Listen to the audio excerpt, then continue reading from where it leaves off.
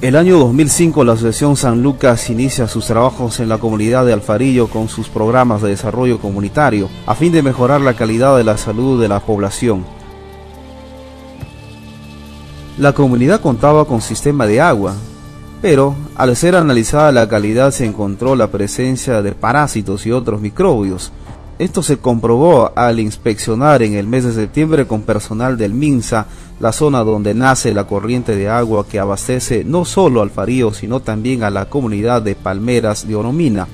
Cuando se hizo la visita con el doctor del MINSA, he llevado las muestras del agua a, un laboratorio y entonces nos ha venido el resultado que está en agua muy contaminada.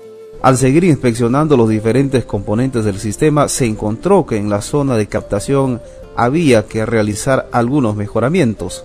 También se encontró la estructura de filtro que se encontraba desde hace más de siete años en desuso, con abundante presencia de malezas en su interior. Asimismo, el reservorio existente que abastecía las dos comunidades antes mencionadas ya no era suficiente para ambas, siendo la más perjudicada Palmeras de Oromina por su ubicación.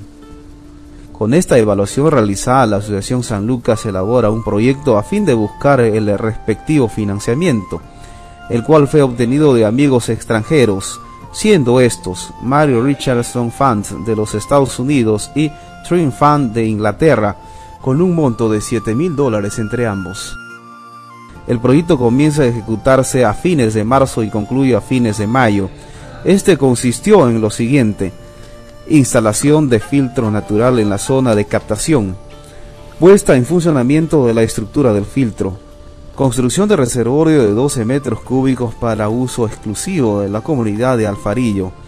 Instalación de línea de aducción entre el reservorio y el caserío de Alfarillo con 2 kilómetros de tubería, a lo largo de cuyo recorrido fueron instalados 8 válvulas de purga, 11 válvulas de aire con sus respectivas cajas de protección. Se ha hecho un reservorio aparte para el caserío de Palmeras que se ha tomado una nueva tubería y, y la tubería de Palmera se va directo, pero también se está beneficiando de ese mejoramiento del agua potable. La población beneficiaria es de 180 de la comunidad de Alfarillo y aproximadamente 230 de Palmeras de Oromina.